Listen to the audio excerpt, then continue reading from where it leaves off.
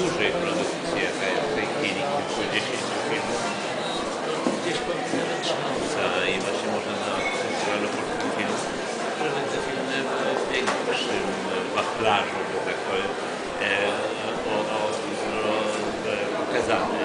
Tak, żeby włączone też, że to jest jakaś dla nich droga kina, albo do jakiegoś festiwalu innego.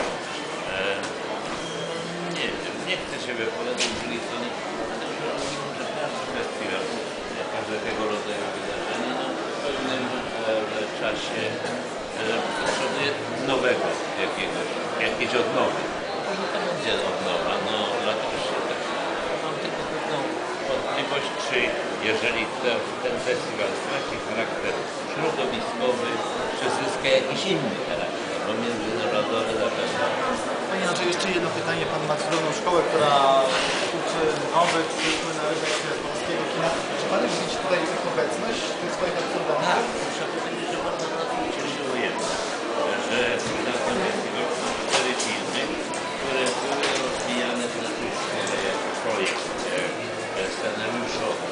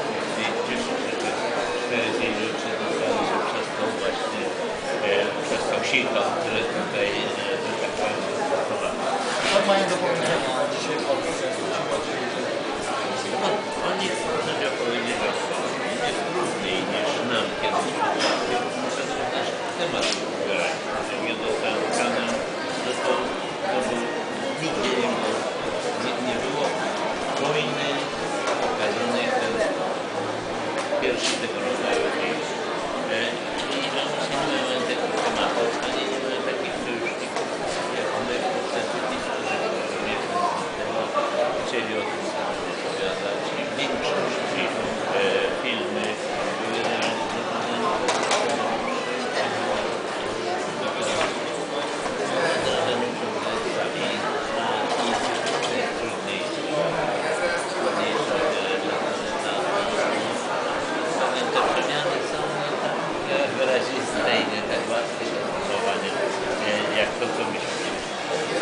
Bardzo. ja rozumiem. Dziękuję.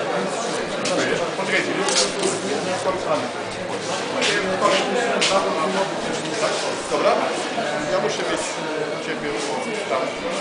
Ja muszę Tylko jedno krótkie pozdrowienia dla widzów polskiego kina oglądających filmy w naszym wagonie nagrać. Piotrze, może dosłownie jakieś Nie, jak z tobą minutę po prostu. Może nagraj ten ten temat.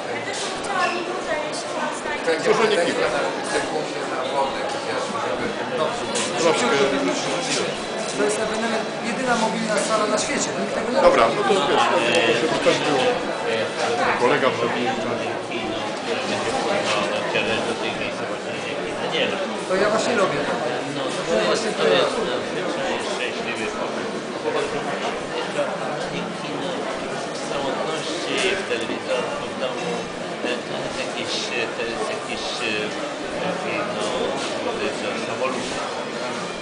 jak jestem z innymi widzami w kinie, no to wtedy razem oglądamy ten film i to, no, inne jest to społeczne. Reżyserzy robią filmy do kina, e, się odnoszą do swojego tematu, do wspólnoty.